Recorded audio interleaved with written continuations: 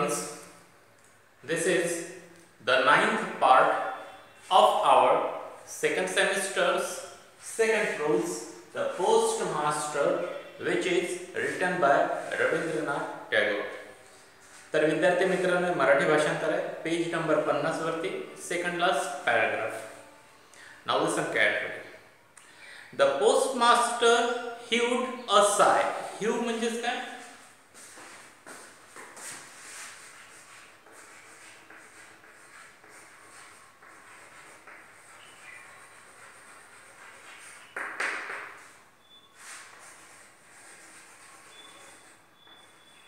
जोरात. सोडणे. आणि साय म्हणजेच काय?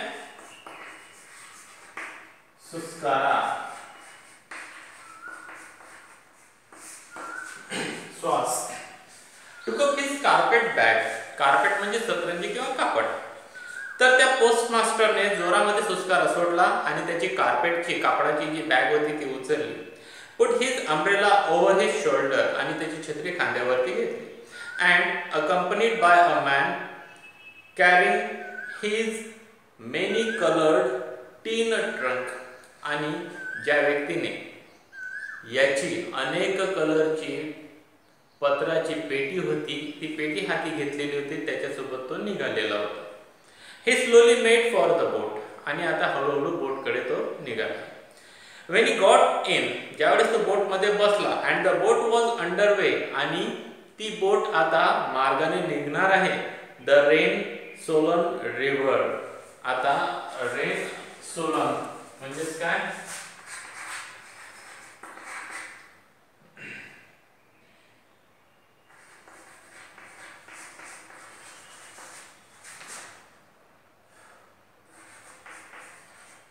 पावसाच्या पाण्याने फुगलेली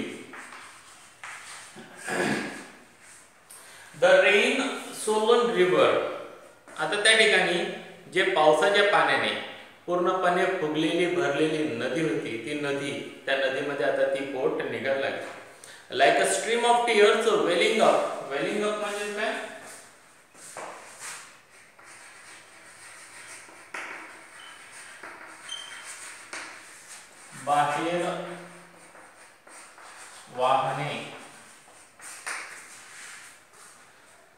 Like the stream of tears stream म्हणजेच काय?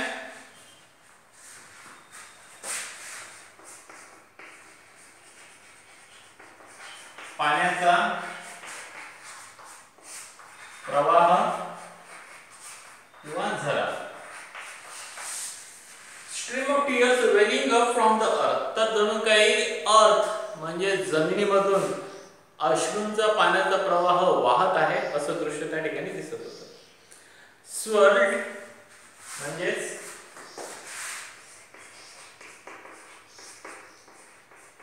गर्दन फिरणे.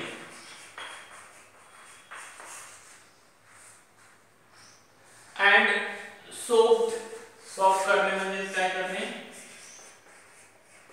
हुंदके देत रडणे ऍट हर बोज बो म्हणजे काय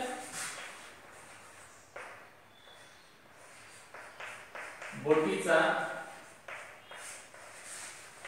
पुढचा भाग.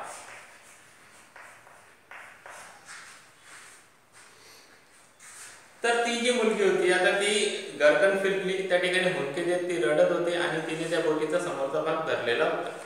He felt sort of pain at heart आता त्याला सुद्धा मनामध्ये एक प्रकारचं पेन वेदना जाणवायला लागलेले होते. The grief stricken face of a village girl seemed to represent for him the great unspoken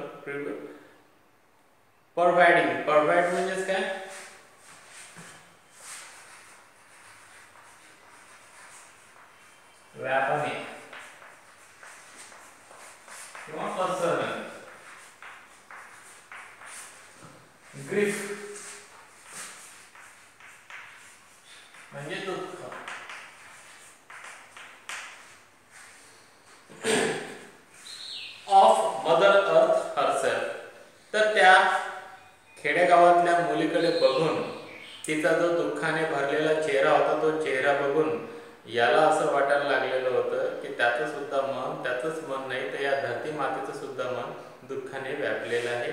जे अनस्पोकन आहे अशब्द आहे अबोल आहे. At one time he had an impulse impulse म्हणजे काय?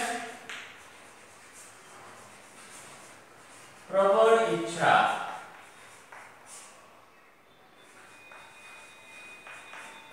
तर एकदा त्याच्या मनामध्ये प्रबळ इच्छा निर्माण झाली टू गो बॅक परत जावं म्हणून. And bring away along with him that lonesome lonesome म्हणजे काय?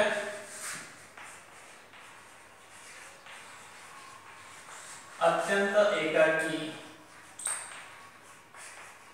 किंवा एकटा एकटी.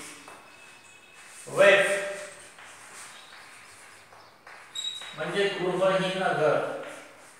गृहहीन मूल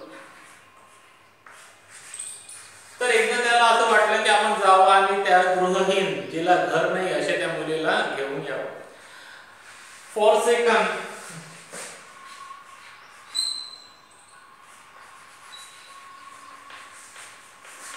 सोडून दिलेला किंवा दिलेली ऑफ द वर्ल्ड तर ज्या मुलीला ज्या अनाथ मुलीला जगाने सोडून दिलेलं होतं.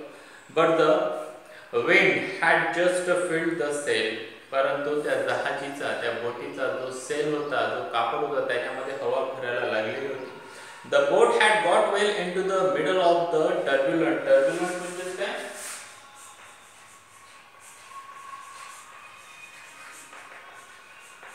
जोरदार. टर्ब्युलंट करंट करंट म्हणजे प्रवाह. आणि बोट सुद्धा आता नदीचा जो मधातला जोरदार प्रवाह होता त्या प्रवाहामध्ये पोहोचलेली होती. And already the village was left behind आणि अगोदरच ते गाव आता मागे पडलेलं होतं. And its outline burning ground came in sight आणि आता त्याचं बाह्य भाग जळजळणारा जो बाह्य भाग होता तो आता फक्त दिसत होता. Students today we are going to stop here. I a good day. Thank you very much.